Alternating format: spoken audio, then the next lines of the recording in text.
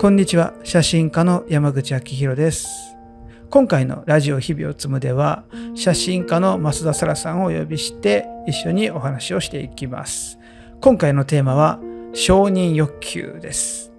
展示や、まあ、写真をやる上で、まあ、なぜ発信しているのかっていう話を前回までしていて、まあ、そこの話の後半に出てきた部分を切り抜いてカットしてお届けします。はい。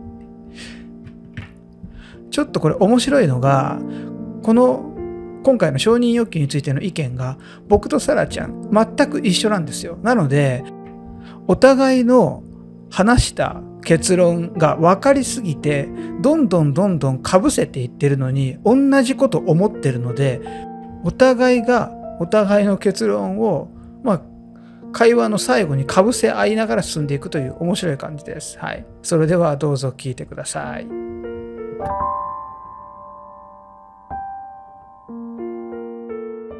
そこじゃないんですよ。承認されたいわけじゃない。あでもねそれはねああのあると思う。これ多分うん。承認なんて自分で自分してないから別にされるものも持ってないと思ってる。そうじゃなくて、うん、ただこの作品だけは愛してるしいいの。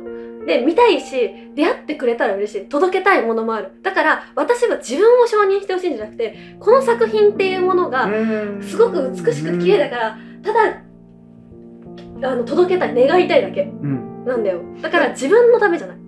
あ自分のためだけど、うん、あれだよね。そもそも承認されたいという思いは取れた取った段階で満たされてるよね、うん、あそうそうそうそうそう、ね、実際シャッターを押した段階かもしくはその写真をその現像した段階で見て見た段階で結構あれじゃない？あいいなみたいな感じで盛り上がってない？もう。そうです。てかさ承認されてなかったなんか承認って私第三者にされるものじゃないと私は思っててこれ私ね私の場合。そうそうそう。あの割と事故のこの中でとかあとはまあなんだろうな。すごい近い人とそう私目の前の人なんですよ、うん、だからそれで満たされちゃうねそれ以外で満たされないの逆に。ねそまあそう俺もそそうかもしれない。そう。許してくれなきゃ取れないから、うん、それが唯一の自己承認なの。あれかな？もし人取ってるなら、うん、その人が見て「あこれいいいいですね」って言ったら、うん。うん、自己承認完了じゃない？そうそうそうそう。それ以上。よかよかったみたいなのでそう。わーで終わりで別にあとはまあうん。だから「いいね」をされあの SNS の「いいね」の数が承認欲求になってる人の感覚が全く理解できなくて。それはなんかちょっと敵を作りそうだな。じゃあ 否定をしてるわけではなくて私にその感覚がないはいはいはい。だからその私があくまで承認されたと思うのは、うん、あの1対1のコミュニケーション以外でありえないんですよ。うん、すごい共感する。だってちょっと違うかもしれないけど多分俺も似たようなところがある。なんか SNS の承認って変な話、うん、お互い一方通行じゃないですか。でも、ね、目の前の相手の承認ってお互いが承認しないとそこにたどり着けないから作品にならないんですよ、うんうんうん、で目と目が合ってない承認っていうものが私は分からないから。あいいね。目と目が合ってない承認は分からないはこれは すごくいい言葉じゃないかやった。本当に承認自己承認欲求があるならうん。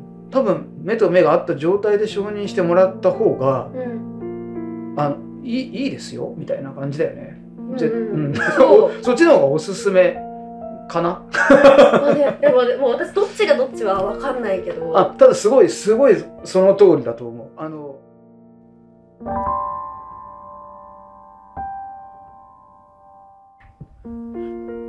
はい、今回はこんなところで終わります。いかがだったでしょうか？